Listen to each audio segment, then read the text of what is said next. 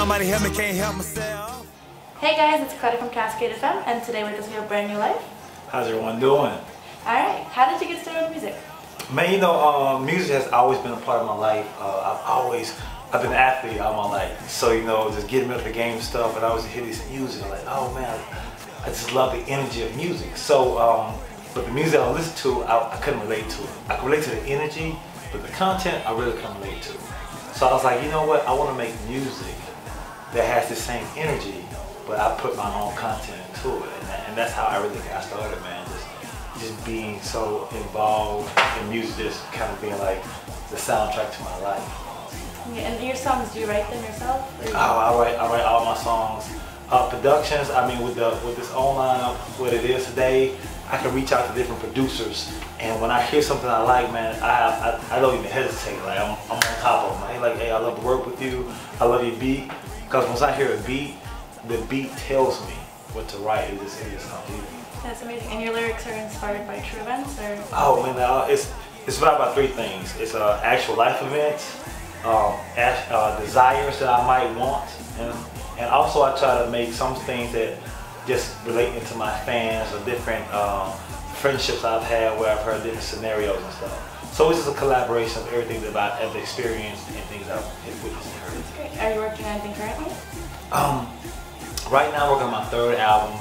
It's called uh, The Human Not Part Two, um, and it, it's just gonna be a variety of music from you know hip hop to, to ratchet strip club music, but also from pop with a mixture of EDM type stuff, man. Because um, I want the second album to really en- en- engulf everything about I've experienced from me growing up listening to Young Jeezy and T.I., Rick Ross, but also me listening to things from Adele, Justin Bieber, uh, Shawn uh, Mendes, and all, all these guys, and Pitbull, and like, you know what, like, you know what, let me just take all these influential people and music that I've heard, and let's just make, let's just combine it all, make some good music.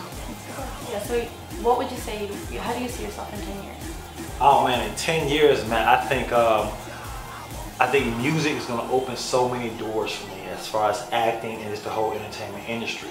So I see myself not only being in music, but also maybe doing like the scores for music or whatnot. At least having a, a one song on the on the on the movie. You know what I'm saying? So that that part of, of um, the 10 years really excites me because I've always been a fan of music and, and movies. Yeah, fingers crossed, I'd love to see that. Oh man, you too, right? Yeah, of course.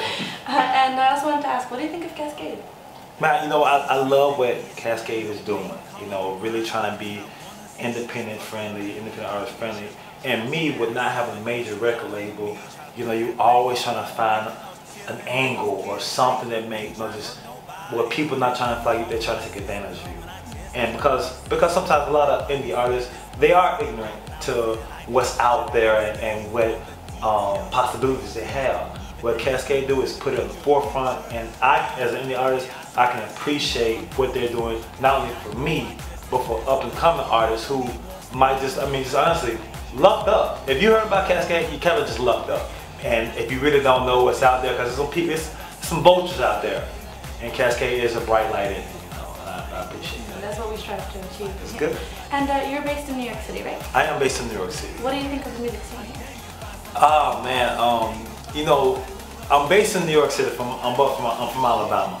New York is the mecca of music. You know, what I'm saying so many opportunities here, and like hip hop and, and music just really started here, and and it and branched out.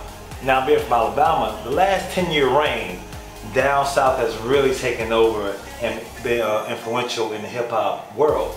But New York still holds, to me, the most opportunities to put your hands in different bowls in, uh, in the entertainment industry.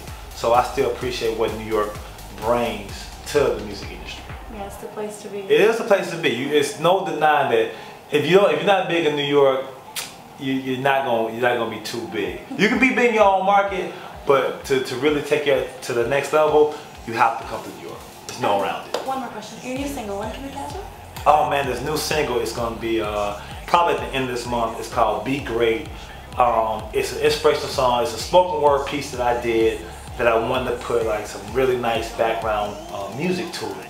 So I'm really excited about it. I feel like I feel like in these times, especially as a, a black man, um, you just need some words of encouragement to say, you know what, uh, despite what's going on, still focus on being great and being a great person and being a, a great, um, I guess, a mentor to whoever's up on me.